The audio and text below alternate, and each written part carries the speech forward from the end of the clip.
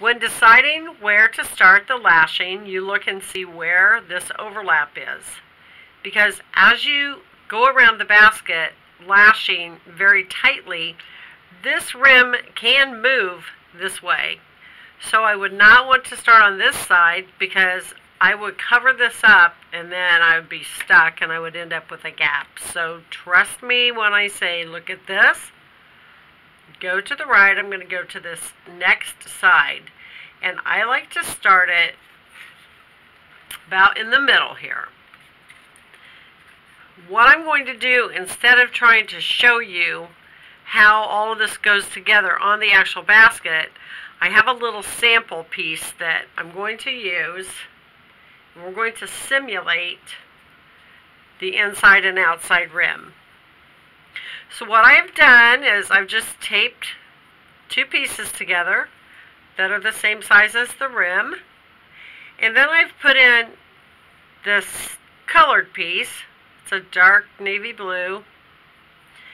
So that you will be able to see much easier what's happening on the inside. So if I were Cheryl, that colored piece is, is representative of the final row, that last small piece of reed. Yeah. Yeah. Just to kind of clear that up for you. Yeah. And so I don't have the seagrass in here because I want to show you what it looks like. And you're going to be underneath the seagrass. But I'm going to use this clip and we'll pretend like these are the rims put together. So I'm going to show you how you do it from the outside first and then show you what it looks like on the inside. You take your piece and I'm using 11 64 this might be 3 16ths flat oval.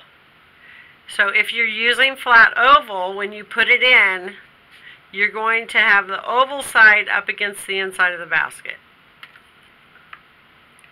So I would be putting this in like this and I'm I'm going to need to use a tool to help dig around in there because I want it to be on the side that the inside rim is up against. So I put that in. Now I'll show you here. Actually, I'm going to cut that off a little shorter. That's just in the way. Now I'll take this off and show you here where that was going. Now, you also have to make sure it's on this side of the seagrass because when you put the seagrass back in there, you don't want to go on top of it. So if I were going to put the seagrass in, I don't want to go on top like that.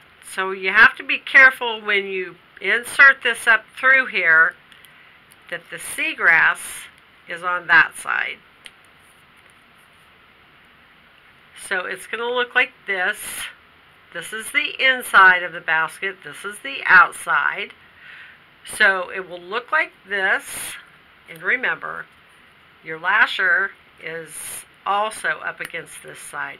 Then you're going to poke it down and it's going to be hooked in there just like a candy cane. Whoops. Yeah, it was in there like a candy cane, but I pulled that out.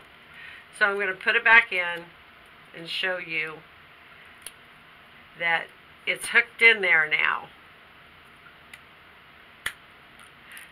So let me move that over so that I can clip this again to then simulate.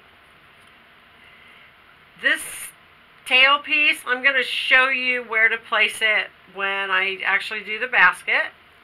But the next thing that we will be doing then is wrapping this, we call this a lasher or your lacing piece. Some people prefer lacing. It's just old school. So you have your seagrass in there and everything's hidden. So nobody can see where you started that. And then we'll be using a tool, and I'll show you how to do that when I actually, but we'll pretend like that was coming out goes back around and it comes out. So the rim is going to be secured with this lashing and this is going to be hidden as well. When it ends, we're going to do something a little bit different and I will come back to my demonstration piece when I get to the end and show that to you. So our next segment will start the actual lashing of the rim on the basket.